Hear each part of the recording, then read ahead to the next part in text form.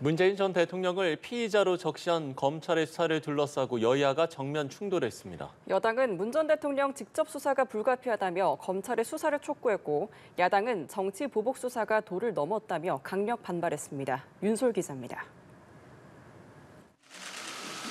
문재인 전 대통령이 뇌물수수 피의자로 적시되자 국민의힘은 문 전 대통령의 직접 수사를 촉구했습니다. 뇌물수수 등 피의자로 적시되면서 문 대통령에 대한 직접 수사도 불가피할 것으로 예상됩니다. 법률과 규정에 입각한 절차에 따라 진행되는 정당한 수사를 중단할 수는 없는 것입니다.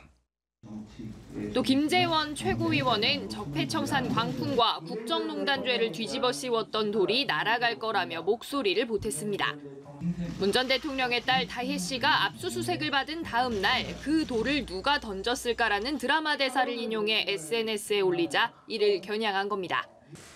더불어민주당은 정치보복 수사가 도를 넘었다며 김건희 여사 수사와의 형평성을 문제 삼아 강력 반발했습니다.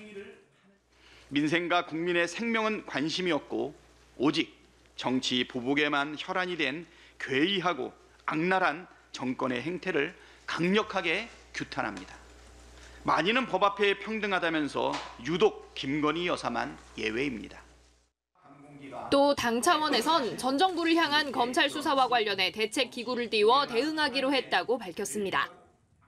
지난 주말 참고인 조사를 받은 조국 혁신당 조국 대표는 문 전 대통령과 가족에게 제2의 논두렁식의 공세가 시작될 거란 예고라며 선택적 과잉 범죄화라는 입장을 밝혔습니다. 이런 가운데 민주당 이재명 대표는 오는 8일 양산 평산마을을 찾아 문 전 대통령을 예방합니다. 앞서 한 차례 미뤄졌던 일정을 조정한 거란 설명인데 검찰 수사와 관련한 대화도 오갈 걸로 관측됩니다.